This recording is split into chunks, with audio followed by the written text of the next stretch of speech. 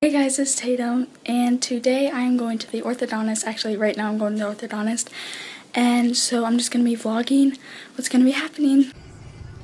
Alright guys, so I'm, yes, I'm in the car right now, and this person that's in front of me can see that I'm vlogging right now, but hi! Alright, yeah.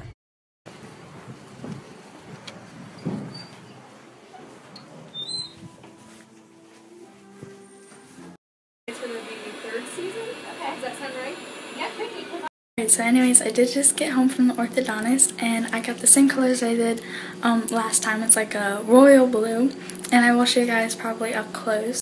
And this question was asked um, in the comments before. No, it does not hurt when getting your colors changed. Or personally, I didn't. I don't think it does. Alright, if my camera's crooked, I'm sorry, but I don't really care.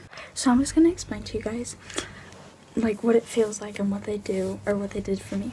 So what they did to me is they took my colors off, the the, the old colors I had, and then put uh they added a little thing onto my Herbst appliance. It's just a little circle thing and then they just push it in and it makes sure like so my jaw moves forward just and makes my so my mouth is moving faster in progress. So that helped. And then they just took my colors off and then they put new colors on, which I just chose the same colors as last time. It doesn't hurt, but it doesn't feel good. Like, and once they take it off, like it feels so much like looser. And then when they put them back on, like my teeth like are like pushed together. I think it feels kind of cool, but and then they changed my wire after they took my colors off. Then they took out my wire and then replaced it with a new one that just tightens my teeth, makes them more straight. And they put the colors back on and yeah, I was gone. It literally takes five minutes and it doesn't hurt at all. I mean, maybe the first time it hurts, but I'm so used to it now, like it doesn't hurt at all. That's all they really do. I'm just gonna end the video here. So I hope you guys like this really short vlog. And if you guys did, make sure you guys go to big thumbs up and also subscribe to our channel if you guys haven't already.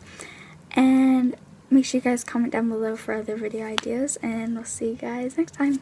Bye. I just looked back at the video footage I just did and I'm barely even, like I'm right, like you can like see this much of me. So I'm really sorry you can barely see me in the camera, but whatever. See you guys next time. Bye.